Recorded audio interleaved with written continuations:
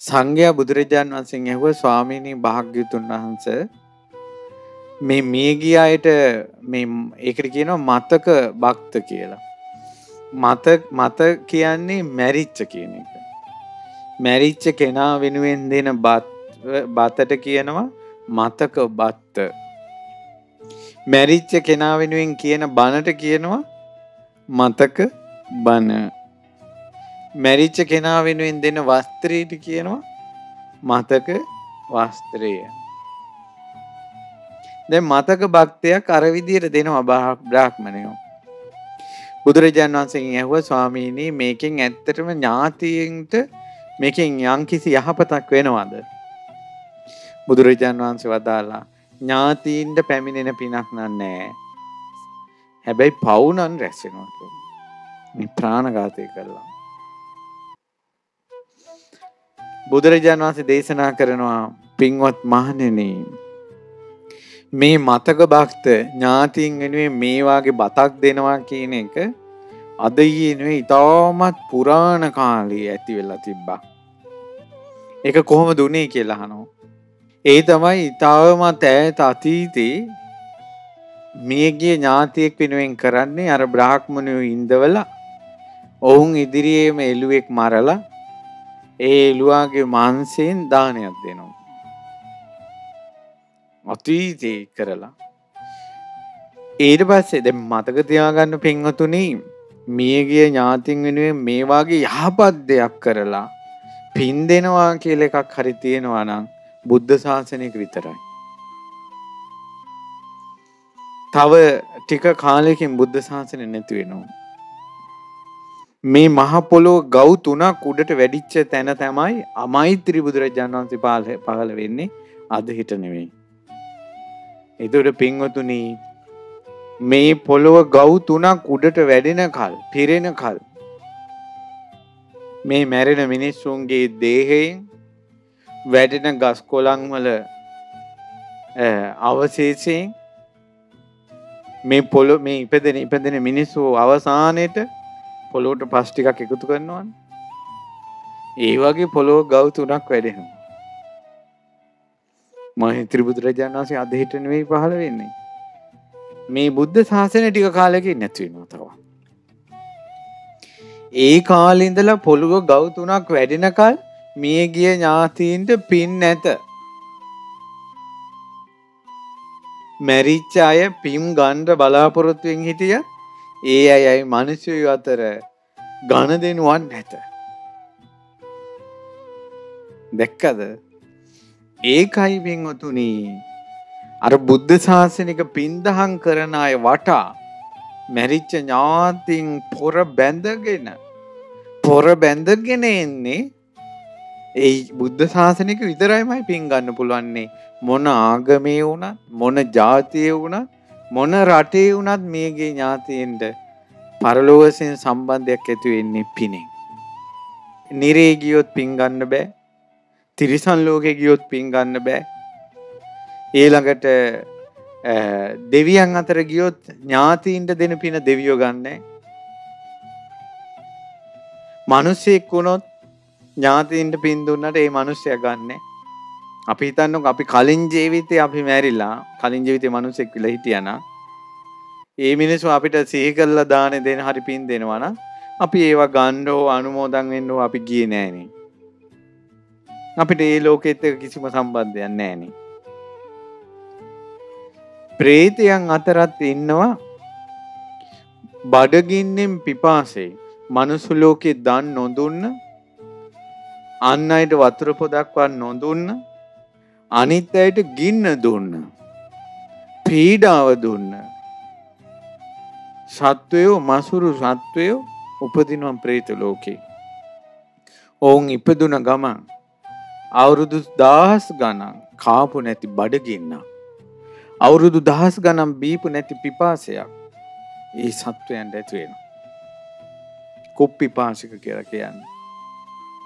ඔවුන් හූල්ල හුල්ල ඉන්න හැබැයි විශාල ඇඟක් එක ඉදිකටු තුඩක් වගේ උගුරක් තියෙන්නේ. ඒ වගේ සත්වයන්ට පින් දුන්නට එයත් ඒ වගේ අයට පින් ගන්න බෑ. තව ඉන්නවා නිජ්ජාම තන්හික කියලා. ඒ පිච්චි පිච්චි ඉන්නවා. මුළු ඇඟම පිච්චෙනවා. එතකොට ආයේ පින් දිහා බල බල ඉන්නේ. තුම් දවස් තුනේ දානේ දුන්නද හත් දවස් දානේ දුන්නද මාසේ දානේ දුන්නද තුන් මාසෙද අවුරුද්ද දෙක හොයන්නේ දුවනවා පිච්චි පිච්චි හැමතැනම. ඒ පින් ගන්නෑ. තව ඉන්නවා මේ කැයි හොටු සෙම සැරව ඒව කකා ඉන්න අය. ඒ අයට දාන කතා නෑ. කොහෙද කැයි හොටු තියෙන්නේ සෙම තියෙන්නේ සැරව තියෙන්නේ ඒව හොය ඔහයා යනවා ඒ අය. සමහට ඔය වගේ අය පුද්ගලයන්ට ආස කරනවා.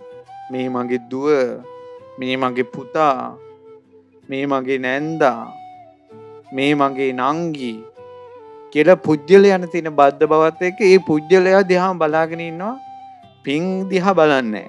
පුද්ගලයන්ට පෙරේතකමෙන් පෙරේත ලෝක ඉපදුනාට පස්සේ ඒ අයට දෙන දානයට බැල්ම හිල්ලන්නේ අනුමෝදන් වෙන්නේ. පිටිපස්සෙන් මෙන්. ඒ අයගේ අවසානය බොහෝ දුරට ඉරණම තමයි. එක්කෝයි බෝතල් වලට දාලා කට්ටනින් ඩහුවෙන එක. හැබැයි තව පිරිසක් ඉන්නවා පරදත් වූ උපජීවී කියලා. එයාලා පින බලාපොරොත්තුවෙන් ඉන්නවා. නේ ඥාතියෙක් අපිව සිහි කරන්නේ නැද්ද කියලා හිතනවා ඒ අය. එයාට මෙහෙම අතින් ගන්න බෑ. මෙහෙම අතින් මෙහෙම අල්ලන්න බෑ. දෙන කෑම මෙහෙම අතින් ගන්න බෑ. මෙහින් කෑම දුන්නොත් දීලා පින් දුන්නොත් ඥාතීන් සිහි කරලා පින් දුන්නොත් උන්න මේ උදකං වට්ටං යතානින්නම් පවත්තති ඒව මේව ඉතෝ දෙන්නම් පේතානං උපකප්පති මෙහින් යමක් දෙනකුට උස් තැනකින් පහළ හැට යමක් වැටෙනවා වගේ මෙහින් දෙනකුට එහින් ඒ කෙනාට ලැබෙනවා. පළතුරු දුන්නොත් පළතුරු ලැබෙනවා. වස්ත්‍ර දුන්නොත් එයාට වස්ත්‍ර ලැබෙනවා.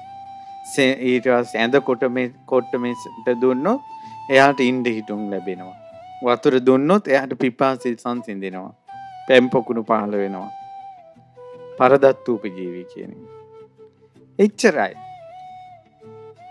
හැබැයි ප්‍රේද ලෝකෙන් නිදහස් වෙන්නේ.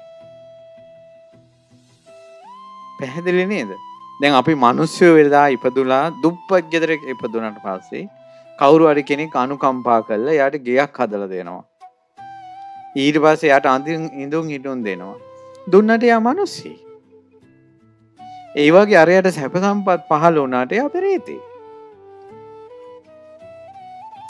ඉතින් බුදුරජාණන් වහන්සේගෙන් බ්‍රාහ්මණයෙක් ඇහුවා ඔය මියගේ ඥාතීන්ට පින් දෙනකොට ඒ ඥාතියා පින් ගන්න තැනක නෙවෙයි නං ඉන්නේ. අපිට මෙයා දෙවියෙක් වෙලා. එතුට නමුත් මෙහින් පින් කරනවා. එයා මේ වෙනකට මව් කුසක ඉපෙදිලා. අපි මෙහින් දාන දෙනවා පින් කරනවා. නමුත් බුදුරජාණන් වහන්සේගේ අනුශාසනාව තමයි දෙවියන් අතරට හෝ මිනිසයන් අතරට ගියොත් අපි ඥාතින් වෙනුවෙන් දෙන පින එයාට ගන්න බෑ. එතකොට අපි මෙහි හත් දවසේ දාන දීලා ලොකුවට පින්කම් කරලා එතකොට මේ පිනට මොකද වෙන්නේ කියලා ඇහුවා. බුදුරජාණන් වහන්සේ වදාලා මියගිය ඥාතින් වෙනුවෙන් පින් දෙනකොට පින්වත් බ්‍රාහ්මණය කවුරු හරි ඒ ඥාතියා නැති වුණාට වෙන ඥාතියෙක් හරි එනවා කිව්වා පින් ගන්න. ඊට පස්සේ බුදුරජාණන් වහන්සේ අහනවා හරි එහෙම ඥාතියෙක් ආවේ නැත්තම් අපි දෙන දානෙට මොකද වෙන්නේ? පින් දෙන එකට මොකද වෙන්නේ? බුදුරජාණන් වහන්සේ වදාලා එහෙම ඥාතියෙක් නෑ කියලා නෑ කිව්වා. අනිවාර්යෙන් ඥාතියින්ට පින් දෙනකොට එනවමයි කිව්වා කවුරු හරි. බුදුරජාණන් වහන්සේගේ බුදුරජාණන් වහන්සේට නේ පේන්නේ.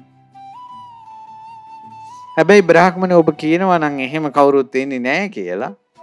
එයාගේ වචනයට බුදුරජාණන් වහන්සේ වදාලා ගේකට කවුරු හරි ඇතුල් වුණාට පස්සේ ගෙහින් කොහේවත් පිට වෙන්න තැනක් නැත්තම් ඒ කෙනා ආයේ එළියට යන්න ඕනේ කොහෙන්ද? කොහෙන්ද යන්න ඕනේ එළියට? ආපු දොරෙන්මයි. ඒ වගේ දානයක් දෙනකොට පින්ගන්න කෙනෙක් ආවේ නැහැ කියලා කියනවා නම් කොහොම වුණත් ඒ දීපු දානේ පින කාටද? තමන්ටම. තමන්ට මේ පිනේනවා.